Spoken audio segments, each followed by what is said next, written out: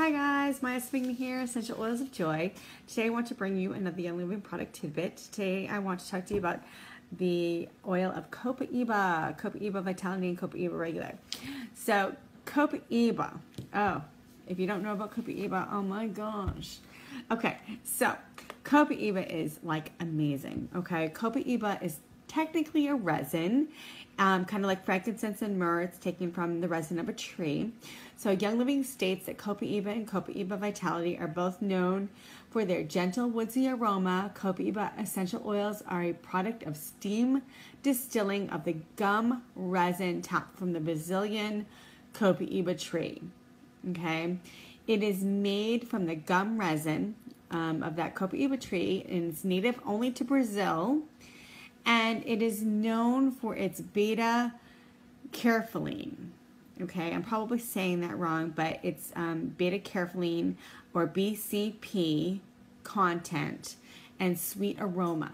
Okay, so Copaiba Vitality has a pleasant, complex taste, and when taken internally, can promote wellness. But did you catch the little nugget in my description or Young Living's description. So, high levels of beta carotene, okay? So, when Young Living um, cannot state what an oil does, um, it might give you a little nugget of help for you to answer that for yourself. Um, so when you see something that is written um, in a description for an oil, look that up. Look up that scientific term um, and notice anything interesting from that chemistry term. So there is an, another oil that um, is known for its BCP and it is um, cannabis or CBD oil, and it contains um, about 30% of the, the beta carotene or the BCP. But Copaiba, however, um, has been shown to contain between 40 to 70% BCP. That's pretty high. So, did you know that Copaiba oil um, is known to have the uh, some of the highest levels of the beta carotene in the world. That's pretty cool, right? Helichrysum clove oil has some in it, but they only have like 5 to 12% of that compound. So Copaiba is way up there. So what is a beta, what, what is that, that beta carotene or the BCP? Um, it has um, been extensively studied for its ability to modulate the body's response to irritation. It is a terpene. It is a sesquiterpene to be exact, and and Copaiba has 90% sesquiterpenes in it. So sesquiterpenes, um, they deprogram bad information. They work subcellular um, in your cells.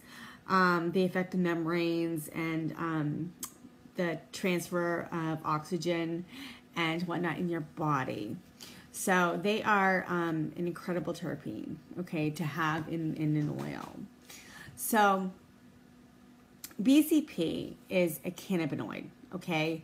And cannabinoid receptors are located throughout your entire body. They are part of the endocannabinoid system, which is involved in a variety of um, psychological processes, including appetite, pain sensation, mood, and memory. Um, so great um, influence on those processes in, uh, um, in our body. So, um, the oral intake of this dietary, dietary cannabinoid um, or the BCP could be very beneficial in um, our daily routines. So, other essential oils besides helichrysum and clove that contain the beta um, carotene are basil, oregano, black pepper, rosemary, and cinnamon bark. So, um, but none have um, the high um, BCP as the Copaiba does um, in its effectiveness. So that's kind of cool, right? So know that there are at least three different species of Copaiba. Um, and a dozen or so common names that um, are included under that umbrella of Copal or Copaiba. So, additionally, some companies are marketing the bark of the tree, which is not the same as the resin. Go figure. So you need to make sure where you are getting um, your copaiba from and that it is in fact not just the bark of the tree but the actual resin because it's going to have different properties in it so you want to know you know your sources and who's doing it and what is in that oil so remember even though species may share similar um, properties, they're not at all the same. Therefore, just knowing the common name of a plant is usually not enough information. So, with high levels of the beta caryophyllene and a uniquely sweet aromatic profile, uh, helps create a relaxing atmosphere when diffused or applied to your body topically. So, its warm aroma also makes Copaiba a great addition to your daily routine and skincare. It's wonderful, wonderful for your skin. It's very moisturizing. It um, you can add it to like a natural, a neutral um, moisturizer to utilize its uh, natural fragrances and um, moisturized properties um, um, in your skin. Um, it's great for moisturizing, like I said. Um, you can use it, uh, you can, um, oh, use the Vitality Copaiba. Um, sorry, this is not actually Vitality Copaiba. It's just, I'm using it as an example because of the color of the bottle. But I didn't have it, so I'm just sharing. But it's um, usually Copaiba Vitality. That is for internal use. So you put that in a clear capsule, a veg cap, and take that um, internally um, for you know, important part of your health regime. So you can try adding a drop or two to um, tea. Um, it is great, like in chamomile tea, but or, or, I like it in sleek tea, or I like taking it in my Ningxia Red. Oh my gosh, so good in my Ningxia, or my Zyng, or my um, Nitros. Yes, so good in that.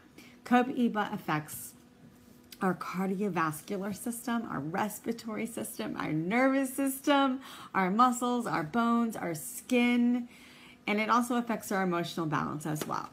So Copaiba is a wide spectrum of stuff. It does. So Copaiba is amazing, and I think you need to get yourself some. It comes in our Everyday Oils kit um, as one of the Vitality uh, oils in it, and it's worth getting. So 160 bucks. Come on, you get 11 oils, a diffuser. It's awesome. So start yourself right. Get that get that kit and let's go. So what else can I tell you about it? Ask me a question and I'll let you know.